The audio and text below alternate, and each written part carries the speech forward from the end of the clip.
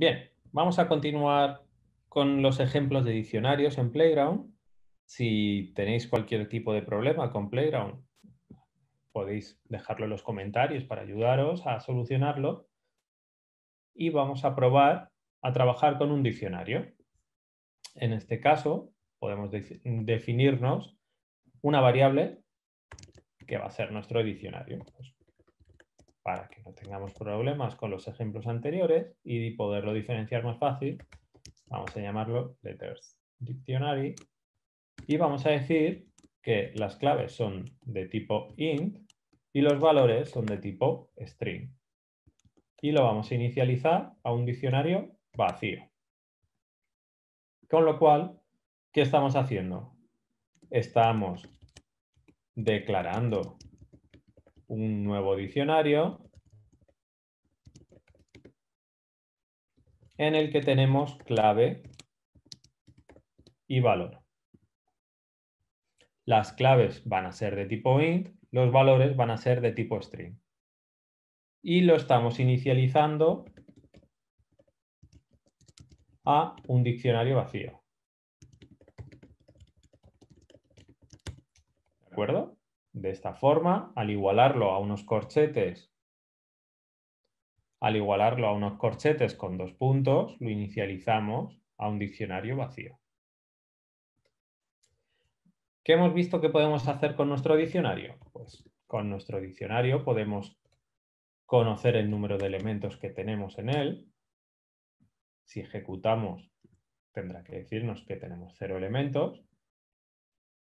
A veces no os preocupéis si tarda, porque el Playground muchas veces funciona a su marcha, ya lo veréis, y a veces irá deprisa y otras no. Bien, vemos que tenemos un diccionario vacío declarado y cero elementos. Bien, ya tenemos el número de elementos. ¿Qué queríamos hacer? Añadir.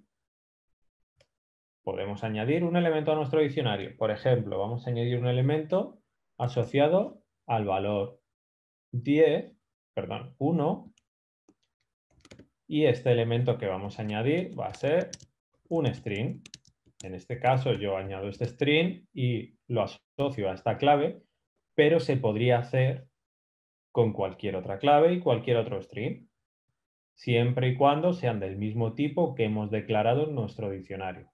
En este caso int, las claves, string, los valores. Si volvemos a comprobar el número de elementos de nuestro diccionario, deberíamos tener un elemento. Y esto es así, pone que tenemos el count es igual a 1, tenemos un elemento en nuestro diccionario. Con lo cual no nos ha fallado la asignación y ya tenemos nuestro primer elemento en el diccionario. Si comprobamos si está vacío, lógicamente ahora nos debería decir que no está vacío. Eso es, nos dice que no está vacío.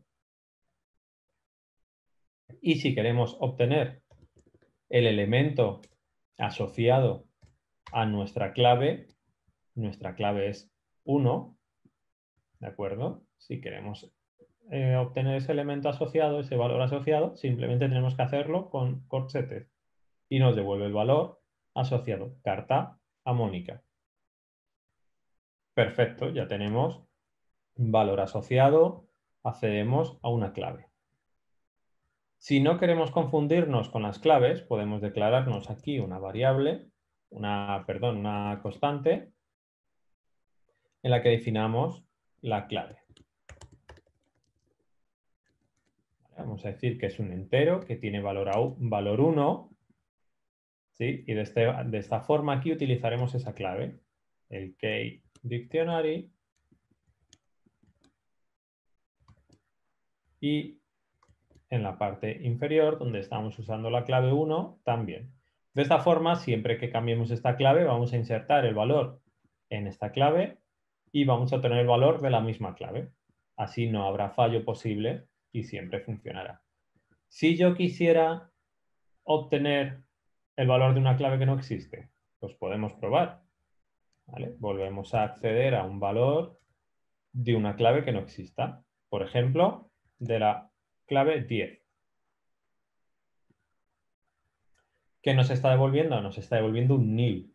Eso es que no existe un valor asociado a esa clave. ¿Por qué? Porque esta clave no existe en el diccionario. Bien, y esto nos está devolviendo un valor nil. Eso es algo que no existe. ¿Qué podemos hacer llegados a este punto? Pues hemos visto que podemos, si queremos, también podemos eliminar un valor de una clave asociada. Podemos eliminar todos los valores, ¿vale? Y podemos eliminar un valor asociado a una clave. En este caso, quiero eliminar el valor asociado a la clave que hemos creado aquí. Si hacemos esto, me está diciendo que el valor que hemos eliminado es carta mónica. Podemos comprobarlo accediendo otra vez al valor asociado a esa clave. Si accedemos, accedemos al valor asociado a la clave Key Dictionary y le damos a play, nos está devolviendo un nil. Eso quiere decir que esta clave ya no existe en el diccionario, ya no tiene ningún valor asociado. Si no, seguimos sin estar seguros, podemos hacer un count para saber el número de elementos de nuestro diccionario. Y el número de elementos, lógicamente, es cero. Con lo cual ya hemos eliminado la clave que habíamos añadido en este punto. Hemos añadido asociado a esta clave este valor y lo acabamos de eliminar en esta línea. Bien, podíamos también, si queríamos, en lugar de ir asociando valores uno a uno, asociar muchos valores de una vez a nuestro diccionario. Esto lo hacíamos igualando nuestro diccionario a otro diccionario. ¿Cómo tiene que ser el diccionario que vamos a utilizar? Pues aquí nos lo está diciendo que tiene que ser de tipo clave int, valor string. Y tienen que ser pares clave-valor separados por coma. Con lo cual puedo hacer clave de tipo int 1 dos puntos, valor asociado. Y si queremos añadir otro valor en nuestro diccionario, lo separamos por coma. ¿vale? Voy a saltar la línea incluso. Valor asociado 2. perdón, 9. Y clave 9, valor asociado de tipo string. Carta 2. Bien, de este modo hemos añadido dos elementos nuevos a nuestro diccionario. Dos pares clave valor. Clave 1, valor string. Clave 9, valor string.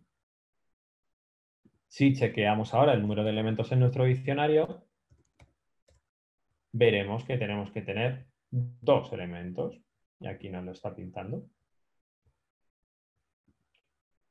Bien, si quisiéramos añadir más elementos, lo podríamos seguir haciendo.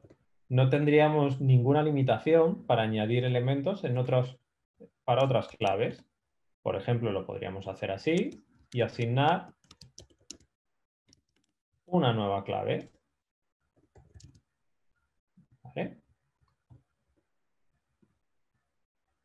De esta forma, pasaríamos a tener tres valores en nuestro diccionario.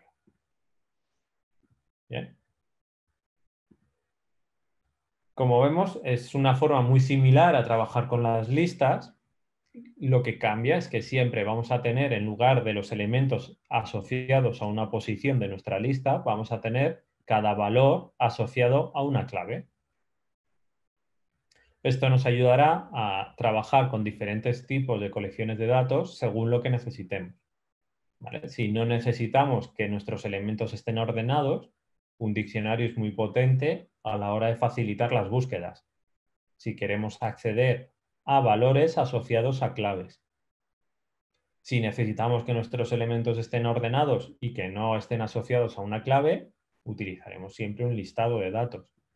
Veremos que hay otras opciones y que nos darán otras posibilidades. En nuestro diccionario si escribimos el nombre de nuestra variable de tipo diccionario y escribimos un punto, nos va a sugerir todas las acciones con las que podemos trabajar. Bien, hemos visto que tenemos el isenti y tenemos alguna opción más. Por ejemplo, esta propiedad keys lo que nos está diciendo es que nos va a devolver una colección que contiene todas las claves del diccionario. Vamos a utilizarla y vamos a ver qué nos devolvería en este caso. Si ejecutamos, fijaros, nos está devolviendo una colección, un listado con las claves. ¿Qué claves habíamos utilizado? Eran valores enteros y en este caso hemos utilizado las claves 1, 9 y 5. Nos está devolviendo todas las claves de nuestro diccionario. De esta forma podríamos acceder a todos los valores también si queremos de nuestro diccionario o comprobar si existe una clave en nuestro diccionario. Hay otras formas también viendo los valores asociados. ¿Únicamente podemos acceder a las claves? Pues no, podemos ver muchos, tenemos muchas más opciones a la hora de trabajar con diccionarios, con colecciones de datos, como veis, hay muchas funciones, pero otra que nos puede interesar es poder acceder a todos los valores. Si nos fijamos, al acceder a todos los valores de nuestro diccionario, lo que hace es devolvernos un listado de valores.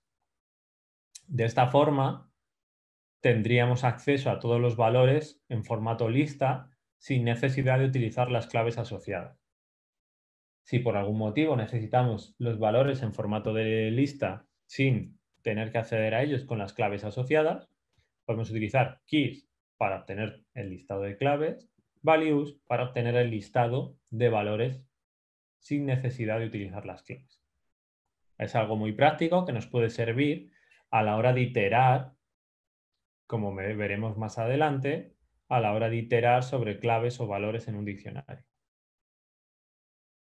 Bien, los diccionarios es algo muy potente hay que acostumbrarse a utilizarlos y que en aplicaciones nativas, en aplicaciones de iOS, veremos que se utilizan mucho.